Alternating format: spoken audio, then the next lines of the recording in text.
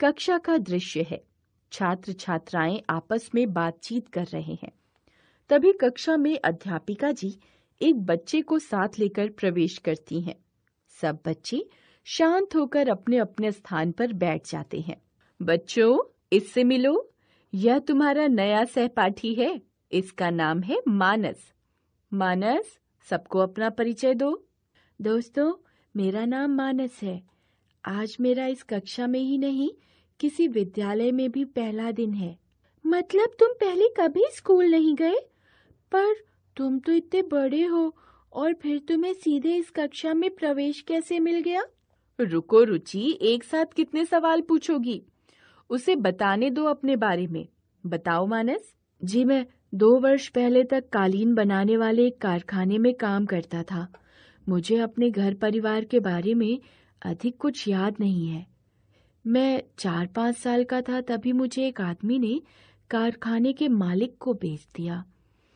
तब से हर सुबह नींद खुलने के साथ ही मेरा काम शुरू हो जाता था। वे लोग बहुत मारपीट करते थे। कभी भरपेट खाना भी नहीं देते थे। बीमार होने पर भी काम करना पड़ता था। हम्म तुम इतने छोटे होकर कारखाने में काम करते थे? हाँ मुझे करना ही पड़ता था। बस पढ़ने का मुझे शौक था। इसलिए रात को जब सब सो जाते थे तो मैं नज़र बचाकर बाहर निकल जाता था।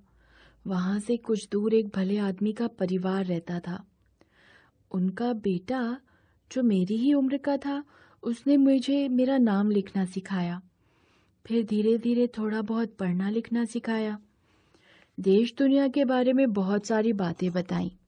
हमारी अच्छी दोस्ती हो गई थी। फिर तुम कारखाने से यहाँ कैसे पहुँचे? हाँ हाँ बताओ तुम्हें उस नरक जैसे जीवन से कैसे मुक्ति मिली? कैलाश सत्यार्थी जी ने अपना जीवन जोखिम में डालकर मुझे और मेरे जैसे बहुत सारे बच्चों को वहाँ से छुड़ाया।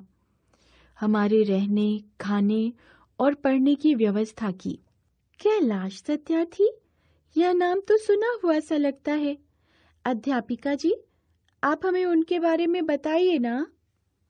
बच्चों, कैलाश सत्यार्थी सचमुच मानस जैसे हज़ारों बच्चों के लिए देवदूत की तरह हैं। उनका जन्म 11 जनवरी उन्नीस सौ चौवन को मध्य प्रदेश के विदिशा नामक स्थान पर हुआ था। उनके पिता एक पुलिस अधिकारी थे। उनका मूल नाम कैलाश शर्मा था। फिर उनका नाम कैलाश सत्यार्थी कब और कैसे हो गया, अध्यापिका जी? वे 1977 में दिल्ली के एक प्रकाशन में काम करते थे, जहाँ आर्य समाज की किताबें छपती थीं।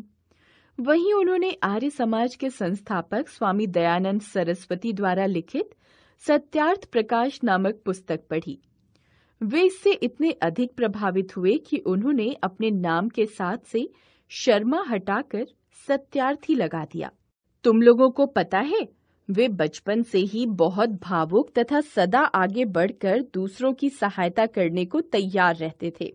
एक बार जब वे केवल ग्यारह वर्ष के थे, उन्होंने देखा कि बहुत से बच्चे किताबें न होने के कारण पढ़ ही नहीं पाते। उन्होंने सब्ज़ी बेचने वाले का एक खाली ठेला लिया और परीक्षा पास करने वाले बच्चों की किताबें इकट्ठी की। फिर उन्होंने जरूरतमंद बच्चों के पास पहुँचा दिया। अध्यापिका जी वे बड़े होकर क्या बनना चाहते थे? वे बचपन से ही प्रखर बुद्धि और प्रतिभाशाली थे। उनका परिवार चाहता था कि वे राजनीति में जाएँ, परंतु उन्हें लगता था कि समाज में बदलाव के लिए राजनीति नहीं समाज सेवा की ज़रूरत है। छोटे बच्चों के जिन नन्हे नन्हे प्यारे प्यारे हाथों में किताबें और कलम होनी चाहिए उनसे दिन रात मेहनत मजदूरी करते देख उनका दिल भर आता था। वे विद्युत इंजीनियर बनकर नौकरी भी करने लगे, पर उनकी प्रबल इच्छा थी कि कैसे भी करके बच्चों का बचपन बचाया जाए। तब उन्होंने इसके लिए क्या किया, अध्यापिका जी? उन्होंने अपनी नौकरी छोड़कर लगातार बच्चों का बचपन बचाने के लिए काम शुरू कर दिया और 1980 में व्यापक रूप से बचपन बचाओ आंदोलन शुरू कर दिया। इससे अगले ही वर्ष 1981 में स्वामी अग्निवेश के साथ मिलकर उन्होंने बंधुआ मुक्ति मोर्चा की स्थापना की। इस संस्था के लगभग बीस हज़ार सदस्य हैं, जो कालीन, कांच, ईंट के भट्टों, पत्थर खदानों, घरेलू, बाल मजदूरी तथा साड़ी उद्योग जैसे खतरनाक उद्योगों में काम करने वाले बच्चों को मुक्त कराते हैं। संघर्ष जारी रहेगा नामक पत्रिका की शुरुआत करके उन्होंने लोगों का ध्यान बाल श्रम की समस्या की ओर खींचा।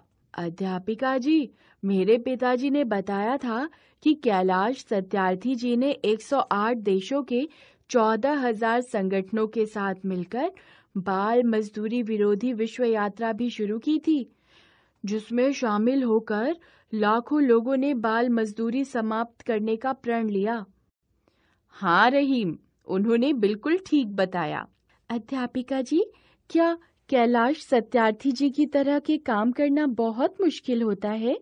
इसमें किसी तरह की मुश्किलें तो नहीं आती। यह बहुत मुश्किल होता है बच्चों। केवल बहुत हिम्मत वाला इंसान ही ये सब काम कर सकता है। कैलाश सत्यार्थी और उनके साथियों पर भी न जाने कितनी बार जानलेवा हमले किए गए। कितनी बार वे घायल हुए, कितनी ही बार उन्हें डराया गया। परंतु वे कभी नहीं हारे, कभी नहीं डरे, कभी नहीं रुके और लगातार बच्चों के लिए संघर्ष करते रहे। जी अध्यापिका जी, मुझे भी मेरे भाई साहब ने बताया था कि उन्होंने भोपाल गैस त्रासदी में भी राहत अभियान चलाया था। वे अब भी global march against child labour यानी बाल श्रम के खिलाफ वैश्विक अभियान के अध्यक्ष हैं। हाँ मनदीप। उन्होंने सही बताया। अध्यापिका जी, क्या उनके महान संघर्ष भरे कार्यों के लिए कोई पुरस्कार भी मिले हैं? हाँ पूर्णिमा, वर्ष 2014 के नोबेल शांति पुरस्कार के साथ साथ उन्हें राष्ट्रीय और अंतर्राष्ट्रीय स्तर के बहुत से पुरस्कार मिल चुके हैं, क्योंकि उन्होंने बचपन बचाओ आंदोलन की स्थापना के बाद से अब तक 144 देशों के तिरासी हज़ार से अधिक बच्चों के अधिकारों की रक्षा के लिए कार्य किया है। अध्यापिका जी, आप मुझे पढ़ाएँगी तो मैं भी बड़ा होकर सत्यार्थी बनूँगा। संसार से बाल श्रम मिटाने के लिए खूब पढ़ूँगा। संसार के सब बच्चों को साक्षर बनाने के लिए अपना जीवन समर्पित करूँगा।